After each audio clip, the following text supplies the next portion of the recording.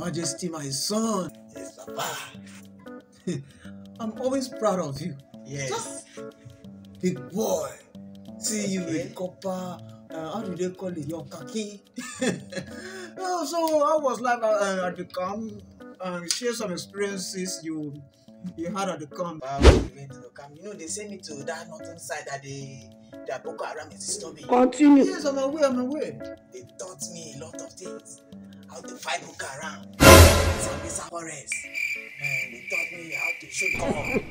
He shock you. They taught me even how to smoke. Papa, I smoke. Indian end. Indian end. You be mumu. You think say you dey wise? You are a mumu. That's how to smoke. Eh? You you you you you you only learn how to smoke. Eh? The Bible I gave you, Majesty. Majesty, come here. Huh? I said, come here. Oh, oh. This boy is lying to me that you're going to fight Boko Haram. I said, come here. A very worry. You want to see crazy?